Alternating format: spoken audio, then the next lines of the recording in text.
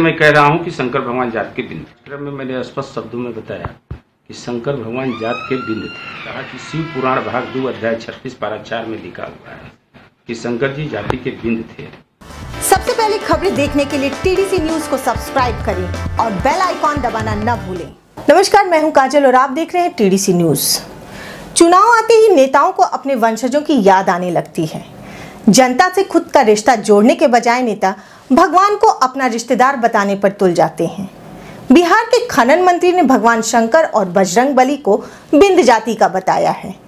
ब्रजकिशोर बिंद के इस बयान के बाद देश के साधु संतों में भारी नाराज़गी देखी जा रही है।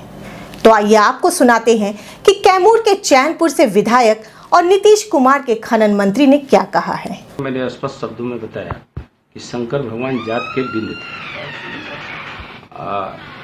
प्रमाण के लिए मैंने स्पष्ट शब्दों में कहा कि शिव पुराण भाग दो अध्याय छत्तीस पारा चार में लिखा हुआ है कि शंकर जी जाति के बिंद थे।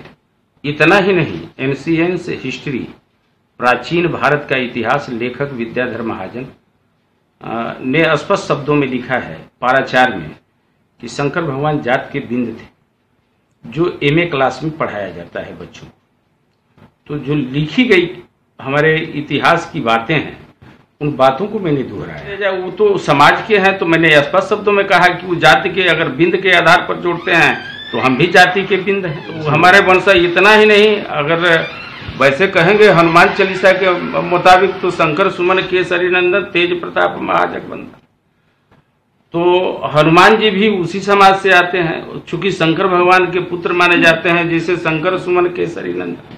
तो ये सारी लिखी गई जितनी बातें हैं, मैं उसको स्पष्ट तौर से दोहरा रहा हूँ। और निसंदेह स्पष्ट तौर पर मैं कहता हूँ कि वो जो बात लिखी गई है कहीं से न कहीं से, उसमें तार्किक ढंग से सत्यता झलक रहा है। इसके वजह से मैं कह रहा हूँ कि शंकर भगवान जात के बिंदु